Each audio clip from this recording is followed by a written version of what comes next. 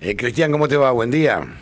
¿Qué tal, Antonio? ¿Cómo estás? Muy buen día. Ahora esto parece una monarquía, ¿no? Que imponen a un tipo de un monobloque como presidente de la comisión de las más importantes de la Cámara de Diputados y el presidente lo felicita por X, por Twitter. Sí, y además que no, como él está cuestionado no solo por, por ser parte de un monobloque y tendrían que explicar cómo fue el criterio para que llegue a la comisión de presupuesto y después darle la presidencia, sino nosotros planteamos, hay un cuestionamiento, algo pude hacer de eso porque él viene hace unas pocas semanas de pedir cárcel o bala para Miriam Brema y Nicolás del Caño y fuimos más de 30 diputados los que firmamos una declaración de repudio a las expresiones de Per, que lejos de haberse retractado cada vez que va a un canal de televisión, eh, lo reafirma. Él trata de delincuentes a todos los diputados que no piensan como él y dice que hay que meterles bala de plomo, de, de goma, taser o gas pimienta si cortan una calle. Bala de plomo a alguien que corte una calle, es lo que llama. O sea, está incitando a la fuerza de seguridad a ejercer la violencia física sobre adversarios políticos y o a eh, gente paraestatal que puede hacerlo. Y esto en un país donde vivimos el atentado fallido a la ex vicepresidenta, bueno, es particularmente grave. Por lo tanto, eh, en mi caso, que soy miembro de la Comisión de Presupuesto, bueno, quería impugnar la, la, propuesta de espera a la presidencia y como esto seguramente iba a ser apoyado por otros diputados, eh, hicieron una suerte de, de votación porque no no, no se contaron los votos, no hicieron el procedimiento habitual y dijeron, bueno, espera la presidencia y a partir de ahí negó, negó la palabra cualquiera. Nadie pudo hablar. Eh, bueno, esto es una barbaridad, es totalmente irregular, a ningún diputado o diputada se le puede negar la palabra en una comisión, sea o no miembro de ella. Y, bueno, y vamos a cuestionar, obviamente, ese lugar de expert, más allá que ellos den, eh, den por legítimo el trámite, ¿no? Eh, creo que lo ponen a un gurka de, la derecha en la comisión de presupuesto para tratar de limitar la, intervención de, quienes nos vamos a oponer a, la, ley ómnibus, que es uno de los capítulos de terror de, esta obra que ha empezado hace 25 días Javier Milei en el gobierno, eh, que tiene en la devaluación un primer acto, en el decreto de necesidad y urgencia un segundo, y ahora la ley ómnibus, que son todas medidas que tienen que ver con transferir ingresos de los trabajadores, los jubilados, la clase media hacia el capital más concentrado, negocios para empresarios que, lo patrocinan, hay artículos que parecen escritos directamente por, por esas empresas para, para ser favorecidas en, determinados negocios y también y, de saqueo de, los bienes comunes naturales, ¿no? Porque verdaderamente no, no, no hay otra forma de, de catalogar eh, lo que lo que están pretendiendo hacer y obviamente de concentración de, del poder en el ejecutivo si, si se votase la, la ley ómnibus como quiere mi ley y se aprobase el DNU sería directamente el cierre del Congreso por las facultades delegadas que, que se le darían y además de instalar un cuasi estado de sitio con estas medidas donde eh, dos o tres personas que quieran hacer una manifestación tienen que comunicarle al Ministerio de Seguridad y el Ministerio de Seguridad decir eh, que, autoriza y que no autoriza.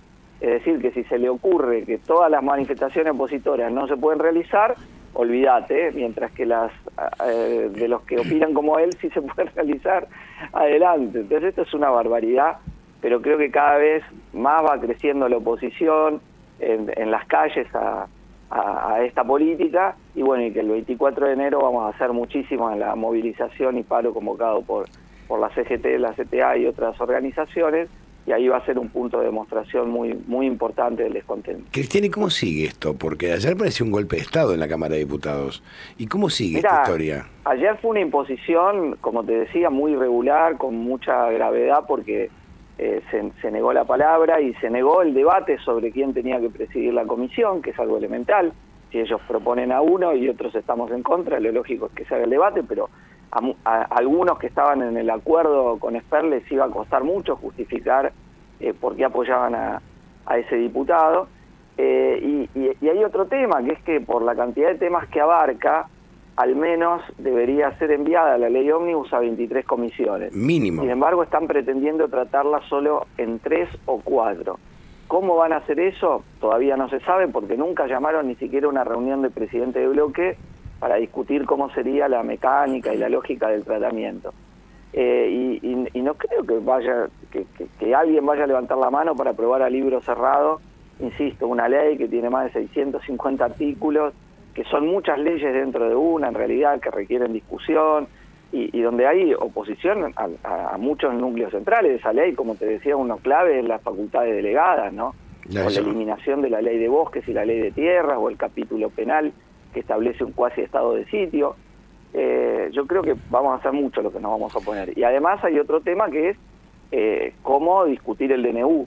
A partir del 23 de enero, los diputados podemos pedir una sesión especial, se reúna o no la comisión de DNU, para tratarlo y en nuestro caso impulsar el rechazo. Así que bueno, trabajaremos para lograr las 129 voluntades eh, para que sea rechazado el, el, DNU y no permitir, como vos decías, que se instaure una suerte de autocracia o monarquía en nuestro país. Ahora, Cristian, te pregunto por último, ¿es cierto que en, la, digamos, en el capítulo penal elimina la obediencia de vida? No, eh, está la obediencia de vida, pero eso ya, ya figuraba como, como tipo penal. Eh, entonces ahí hubo una confusión sobre si eso significaba algo para los represores. Eh, los, casos de juicio de lesa humanidad no, no tiene una implicancia directa por lo que hemos estudiado en los juicios de lesa humanidad ese aspecto de la redacción del, eh, de, las modificaciones del Código Penal. Lo más grave está en, lo expresado en relación al derecho de reunión y manifestación y en el agravamiento de los tipos penales para cualquiera que participe en una marcha o en una protesta que pasan a ser de, prisión efectiva y donde, eh, aunque vos no participes en la manifestación, te pueden considerar organizador y condenar a, cuatro años de cárcel, lo cual es, es insólito, y, los atributos que se le da a la policía para, para matar sin condena, ¿no? Eh, se, se, limita la posibilidad de los familiares, del caso de gatillo fácil, de activar en contra de la fuerza de seguridad, es una licencia para matar directamente lo que quieren hacer con los cambios en el Código Penal. Es la teoría de Chocobar. Claro, lo, de Chocobar grabado te diría, en los cambios que quieren hacer. Bueno, Patricia eh, Bullrich de hecho lo apadrinó a Chocobar y lo llevó. Bueno, claro, claro, Bullrich hizo eso, ¿no? Eh, así es.